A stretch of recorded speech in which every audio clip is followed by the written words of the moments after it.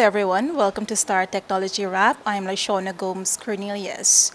Here with us is Penny, the marketing manager at Star Computer. For the remainder of the month of October, Star Computer will be donating some proceeds to the Guyana Cancer Foundation, all in um, celebration of Breast Cancer Awareness Month. Here with us is Penny. She's going to tell us a bit more about this donation. Hello, Penny. Hi, hello everyone. Yes, October is known as the Breast Cancer Awareness Month.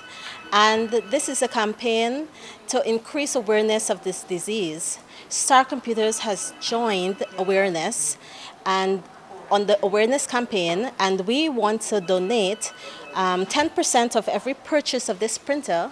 We'll be donating to the Guyana Cancer Foundation. Yes, um, Penny, kindly tell us a bit more about the printer, the HP DeskJet Ink Advantage 3785. Okay, yes everyone, this printer is a wireless all-in-one printer. That means it's a printer, scanner and photocopier. And it has the um, scroll scan which is excellent for when you want to scan your legal size documents. It can go, just go through there. It also, um, if you have a phone or a tablet, you can just, you don't have to connect it. It's just wirelessly, you can print directly to the printer. So that's one of the great things about it. So, in recognition of Breast Cancer Awareness Month, we know a lot of families out there have a loved one or friends that might be suffering from some sort of cancer, in particular breast cancer too. What would be uh, Star Computer's advice to such individuals? Okay, well, early detection saves lives.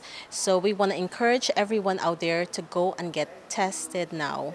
Make October the month for for you to just get screened.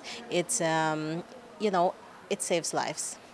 Yes, there you have it. Star Computer is going to donate 10% of all costs from the purchase of this HP computer to the Guyana Cancer Foundation. So, viewers out there, be a part of something great. Help save lives. Thank you again for tuning in to MTV's News Update Star Technology Wrap. I'm Lashona Gomes Cornelius. Goodbye.